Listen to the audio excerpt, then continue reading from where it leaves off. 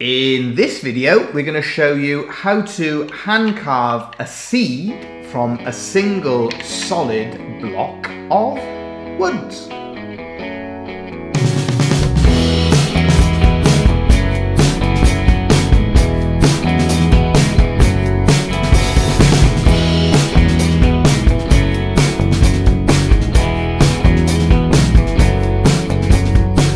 The first part of the process then is to mark your uh, seed onto the wood itself. So you're going to have to mark it on all four sides. As you can see, what I'm doing here, I'm going to use a two pence piece just to mark that shape.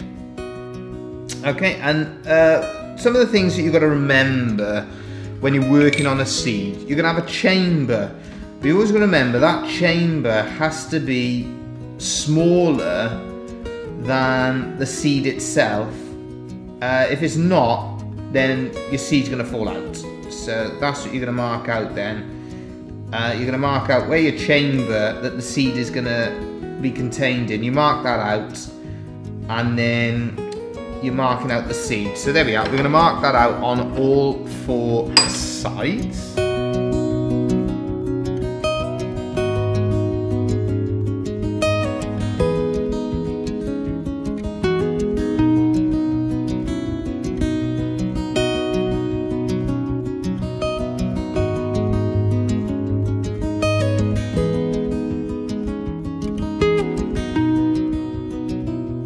So once we've marked it out, we're then going to drill some holes to mark out the chamber. So we're going to drill the holes to mark out the chamber, just like so.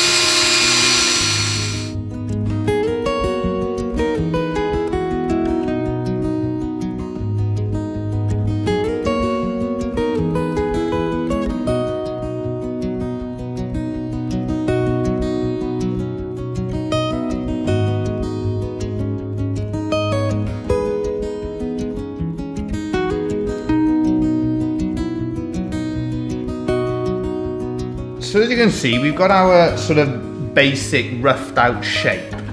And then you've just got to continue um, taking away the waste wood that you don't want until the seed is actually freed from the chamber. So some of the first sort of things that we do, you mark a line down like so, and then you mark another line just down like so. So that's the start of uh, started working on that chamber. And you just start taking away that wood. Okay just like so. You also start to give it its sort of round shape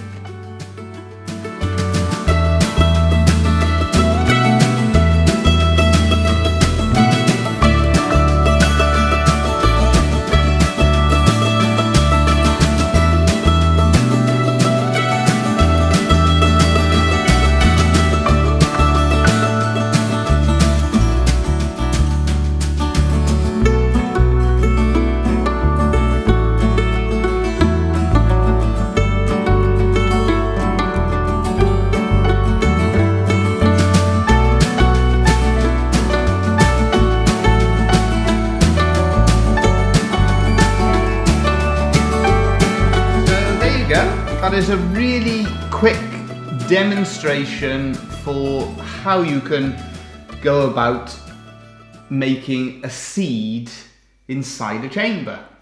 Now, if I was doing that, um, you know, for a love spoon, we'd spend a bit more time sort of tidying up the seed, that sort of thing. But that one there, it was just a quick demonstration to show you how you can actually carve a seed from a single solid block. Thank you all again for watching. We hope that's useful. Um, it's, a, it's another sort of skill, another process that you can add to your love spoon making or any projects that you're working on. Thank you all again for watching. Remember to subscribe and ring that bell if you want to see more content for, from us. Uh, if you've liked what we've done as well, share it around so we can grow the channel. And as always, we'll be back again soon with more videos. Thank you all again.